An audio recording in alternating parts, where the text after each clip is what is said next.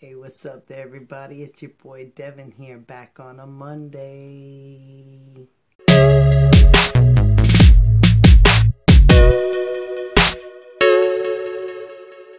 So, today's topic is about where do I think I will be? Basically, where do I see myself being in the next five years?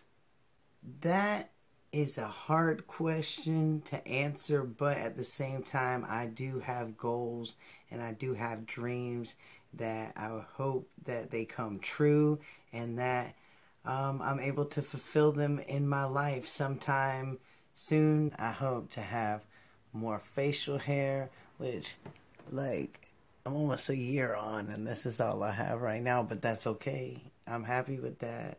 I'm like not forcing myself because I've seen a lot of things change in guys in a five year period. So facial hair is one of those things that I really hope to have, but if not, you know, I just have to deal with it.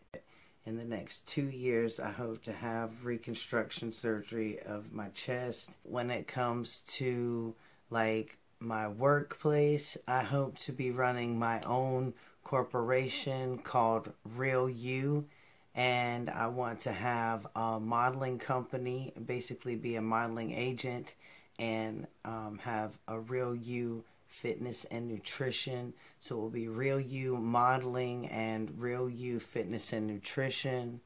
Also, I want to do a mobile gym where I go out and help people be their real self, hence, you know, real you I want to have my own clothing line where I help people represent themselves in clothing.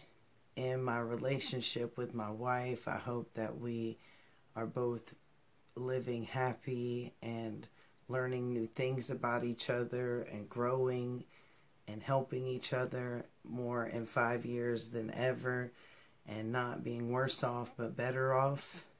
I hope that we get to travel a lot. We want to see the world. We want to do things, a lot of things together. Five years ago, I never even saw myself like this at all. I really didn't know where my life was going five years ago, but now I get to see the beauty of all my struggle that I went through, not knowing about being trans in the sense of knowing the word, but knowing who I was inside. But it's been really awesome through this journey in my life. I want to continue to make videos and help people every day. I hope to be able to go to conferences and talk to people and help them, but I'm not into making videos to get paid really. I just want to help people. So if I get to go to conferences and everything like that, that would be awesome to talk to many people who want to listen to someone have a positive message. But that's pretty much it.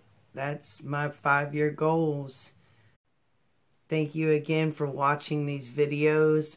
Paperboy is your weekly place to come for a daily video of someone new expressing themselves. So don't delay in watching the next video that comes Monday through Sunday. If it's not in your language, share it because someone who's on your page might speak that language and might need that message. So you guys have a great day. See you next time.